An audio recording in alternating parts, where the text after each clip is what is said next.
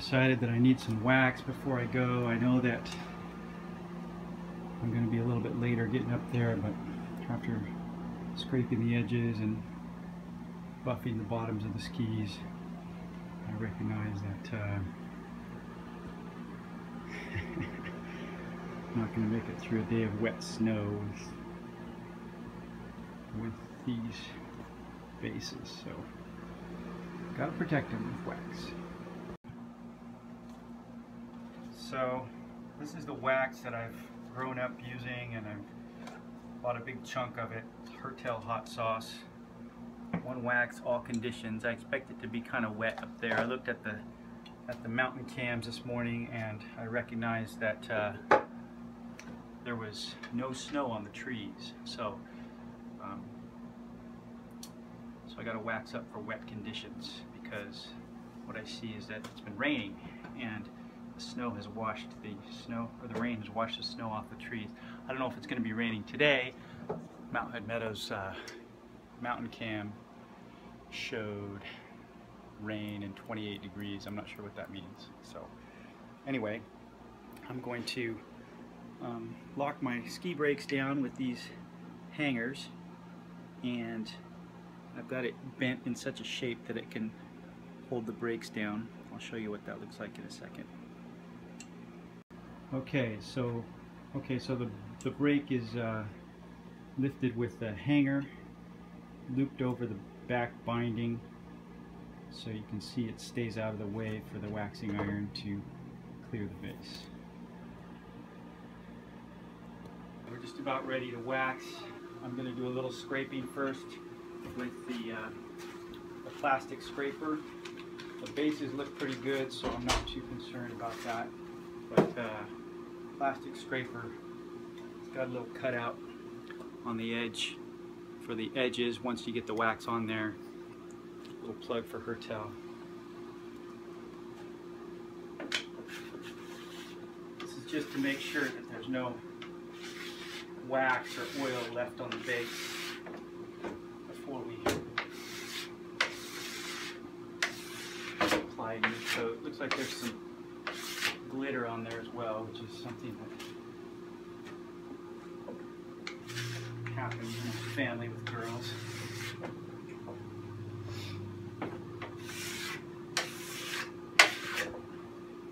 I already sharpened the edges with this little tool, which is helpful. This is a a diamond file made by Swix.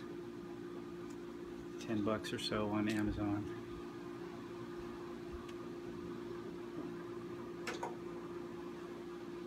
And they have specialty waxing irons, but I just use a standard steam iron with no water in it.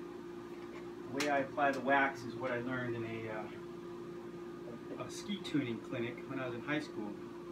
Um, before I do that though, I'm going to make sure that I've got all the glitter off the base. Here's a, somebody's t-shirt.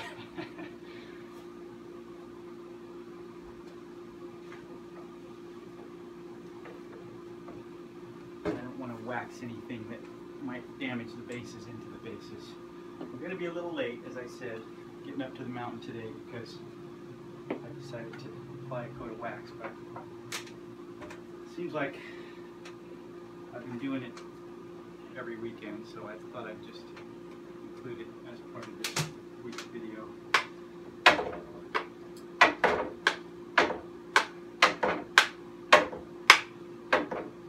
So rather than drip it onto the bases, I find that I can get a smoother application.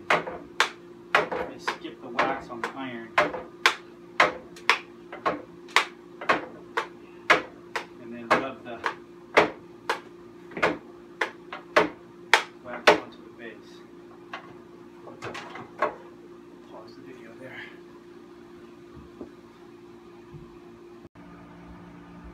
All right, we've got wax scattered all across the bases. And now I'm going to hit it with the hot iron to melt it on there. I got the iron set on about, oh, just before cotton, I guess. That seems to melt the wax pretty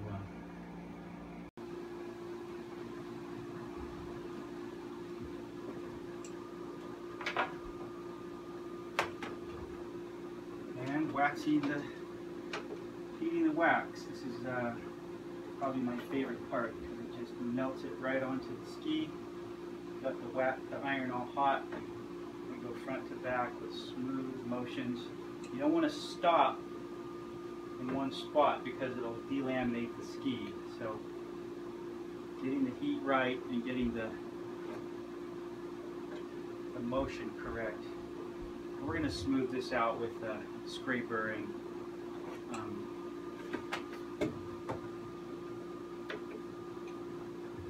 Scotch-Brite pad. But it should dry just past the iron. You can't really see that here, but it just follows the iron.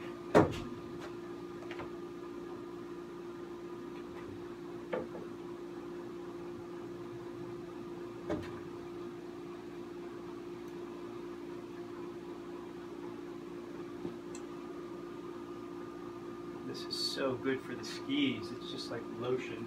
They love it. Thank you. And I feel better skiing on a fresh hot wax. For sure.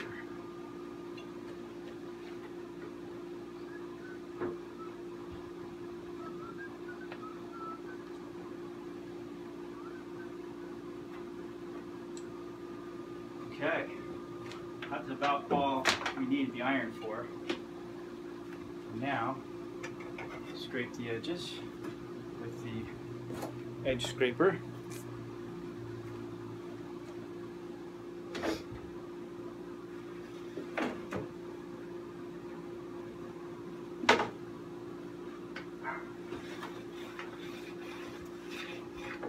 Don't want wax building up on the edges because you need edges to carve turns.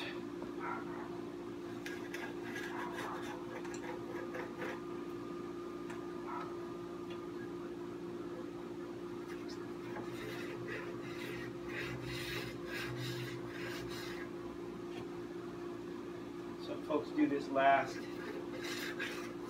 and I probably will switch to doing it last, but I've got this idea that doing it twice is better than doing it once, so I do it before I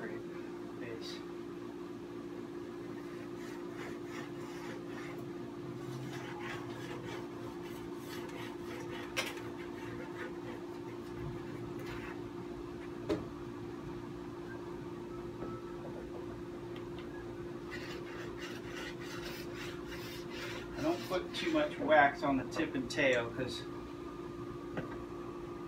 I don't know, I read somewhere or saw in a video somewhere that we don't need it there. And we don't want the edges too sharp in the tip and tail so that we don't catch edges. So then I've got the edges scraped and I want to scrape the wax just to flatten it out. Some folks scrape a lot of wax off. I like to leave some on there. I just want it to be even. Just a nice, even application. Scrape the chunks off the tail. Because we always do it front to back. And it builds up at the tail end.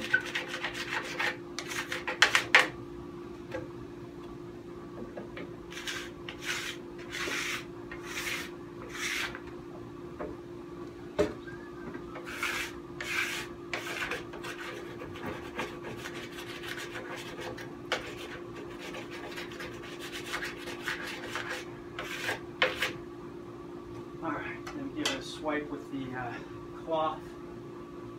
Get rid of the wax boogers. The final step for the bases, now that they've got a nice thick coat of wax, is I call it Brillo, but it's really a Scotch Bright pad. This one's got some wax buildup in it. Makes it nice and gooey for the bases. And again, front to back.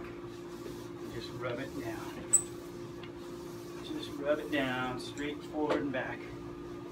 Nice smooth motion. And what I'm seeing is that I don't really need to shave the bases again. Whatever's on there will just wear away after the first run. Not the bases, but the edges. So.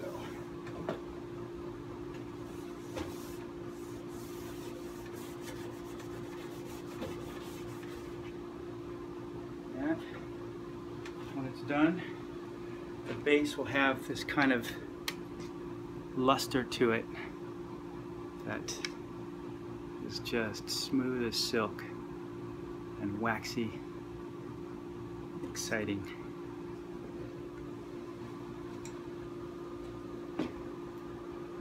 So that's it. I'm gonna pack up the skis, put everything in the car, and head up to the mountain. It's a little after seven, maybe 7.20.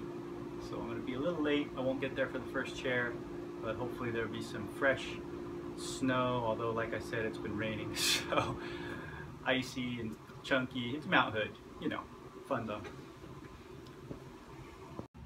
The selfie stick that I got is this Blitzwolf thing, and it's pretty cool. Telescoping, it's got the little wired connection for the phone and the button that activates the video. Um, doesn't have a place to clip in that little um, headphone connector, so I put a I'm getting a little obsessive about the ski vlog, but here we go. Got my skis all waxed up, clipped together with the with the brakes, got my poles. I got all this stuff on Craigslist because skis were too expensive, but maybe somebody will send me some new skis at one point. Love the K2 skis. I used to have Olin skis and Salomon bindings. Now I have K2 skis and marker bindings and works great. Rossignol poles. I got aluminum poles. I wanted to get the composite ones, but I got these for 20 bucks used and they're pretty straight, so I like that. Also found this contraption online, which is a, uh, it's for a bike handlebar, place to mount the GoPro thing but I'm going to try it on the ski pole and see if it'll see if it'll work. We'll see how that goes when I get up there.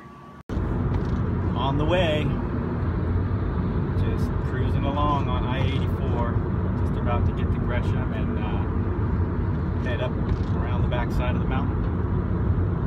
sunny, sunny and warm here, 47 degrees.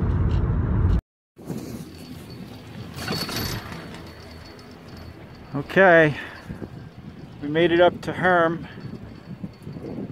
Heather Canyon. I got to do Twilight Bowl once so far this year. It was beautiful. And I just did a face plant on Herm. Lost both skis. Yeah. what a day. It's a little sunny right now and cold and beautiful. So this is the first time I've been up here that it hasn't been too windy to to film something. So, I mean, not that I've been up here, but the first run today. So, the wind picks up definitely on the other runs. Okay, recovering from that full yard sale wipeout. I had to hike back up the hill to get one of my skis. So the day is well underway. Here we are at the top of Mount Hood Express. It's a snowy, blowy day and I'm gonna go for, I guess I'll go for the face. This selfie thing is kind of floppy, so it may or may not work out for much today, but I'm gonna, I'm gonna go for one and see how we do. Yeah, leverage is a problem. That's all right. You need a either a duct tape fix or a mechanical fix. But I'll hold it with my finger for now.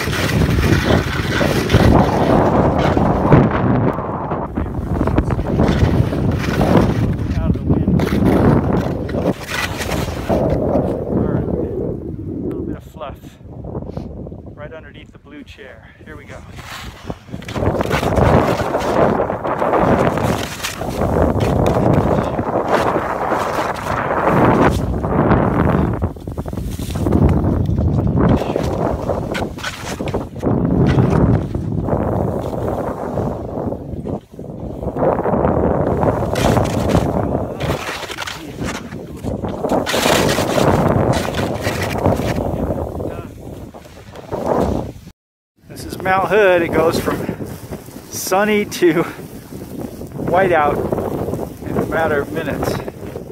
Crazy lack of visibility right now. Went and had lunch and um, back out on the hill. So we'll try again.